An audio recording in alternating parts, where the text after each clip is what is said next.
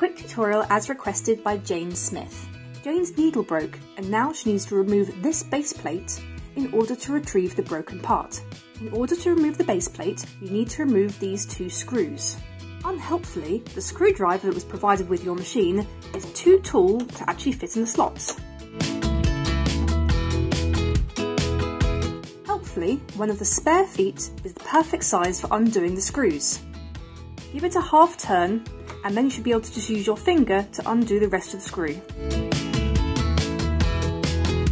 Remove the base plate by lifting it up at the back and pushing it backwards. There's a little lip at the front here which stops the base plate from falling out by itself. Delicately pull the plate away and you'll be able to access the base part of your machine. It's a good idea to use a paintbrush to clean away any debris whilst your base plate is removed. A magnet glued to the end of a stick is a good way to find and remove broken needle pieces. Replace the base plate by sliding it onto your machine, inserting the lip section at the front and then dropping it down at the back. Replace the screws and you're ready to go.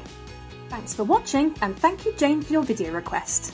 If there's anything that you'd like us to show you how to do on your Brother machine, leave a comment below. See you next time! If you have a moment, here's some more videos that we think you might enjoy.